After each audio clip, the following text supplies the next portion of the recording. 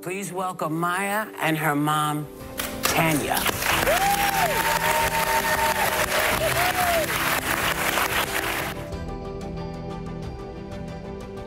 This morning, a local teen still battling a tumor has, that he's had for most of his life. This month is NF Awareness Month. NF is a genetic condition that causes tumors to grow on the nerves. Emily Barron is a freshman at Northview High School in Sylvania. The teen has been through a lot in her short life, but she and her family are focused on being part of helping unlock the answers about a disorder that has no cure yet. There's a boy, he sits alone. Every day, every lunch, every class he's ever known. He sits against the wall, nobody sees. He lives a life you couldn't believe. There's a girl, she can't help but give in. Awareness helps organizations like the Children's Tumor Foundation raise funds for critical research to develop effective treatments and one day a cure. Hereby I proclaim May 2024 is Neurofibromatosis NF Awareness Month, and Friday, May 17th, 2024 is Neurofibromatosis NF Awareness Day. So many people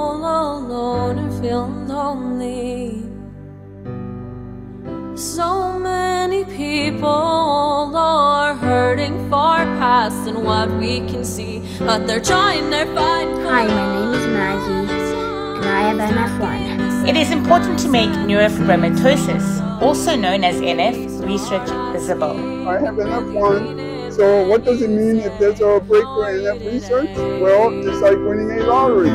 Also, no more surgery and no more pain. We need to be able to teach other people who don't know about the condition, about the condition that we all have.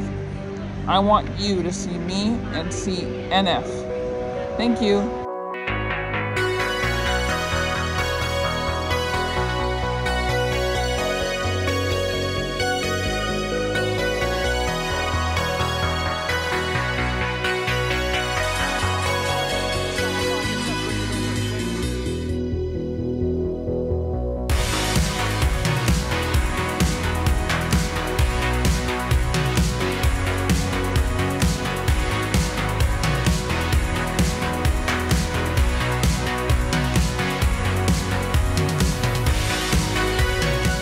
It's been a rough road.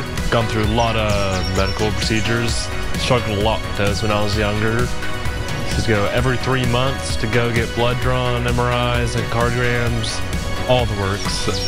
So coming here today and now graduating soon, it's it's a big deal.